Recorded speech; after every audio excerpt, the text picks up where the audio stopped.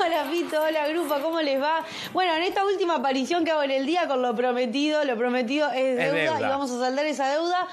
Hoy, 10 de julio, Día Internacional de los Beatles. Hay otros días, hay otro mundo posible desde que no están más los Beatles, pero su música está por siempre. No voy a hablar más yo porque estoy con un especialista en esta materia, que es Boris Fangola, que es librero de toda la vida y especialista en los Beatles, pero tiene un despliegue acá, que ahora lo va a ir mostrando nuestro compañero Eric. ¿Cómo estás, Boris? Buen día. Bueno, un gustazo, Agus, recibirlos a ustedes, a Ciudad Viva, bueno, ya uno desde el otro lado de la pantalla todos los días y hoy tenerlos en casa, un placer. Está eh, pantalla puesta, eso voy a, certificar. Sí, siempre, todas las mañanas, es, religión.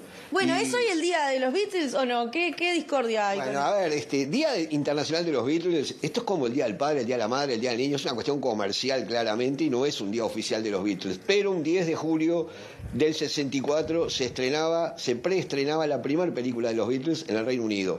Y a su vez los Beatles y su manager, que era muy inteligente, eh, Brian Epstein, optaron por eh, festejar el éxito que habían tenido en la primera gira americana de los Beatles allá por el 64, por febrero del 64.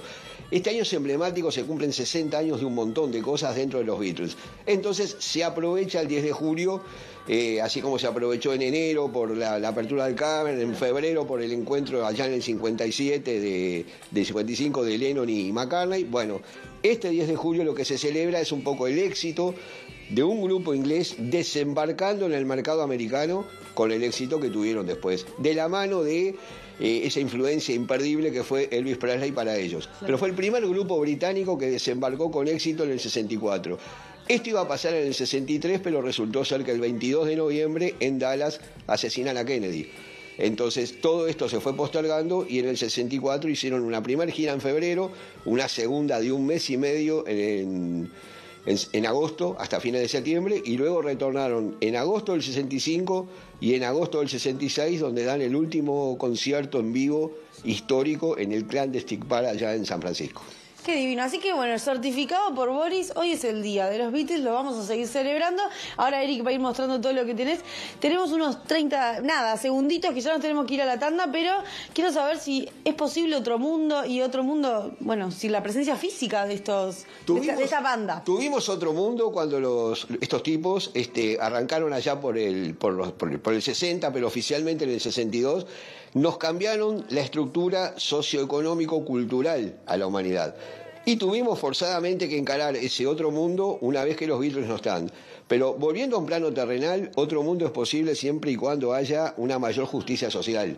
Yo escuché claramente a Álvaro Padrón hoy de desmenuzar el libro de Pepe y todo eso, más allá de las coyunturas y de las cuestiones políticas y de la democracia que reina en cada país con los cambios, la única posibilidad que yo veo para un mundo mejor, sobre todo para las generaciones que vienen, para mis nietos, por ejemplo, eh, es apostar a la justicia social, no queda otra. Clarísimo, Boris, muchísimas gracias. Nos tenemos que ir volando la tanda. Voy a agradecer a Carolina, su compañera, y que nos esperaron con café y masitas. Y nos vamos ah. volando a la tanda, chiquines, y ya venimos. Un segundo nomás te robo.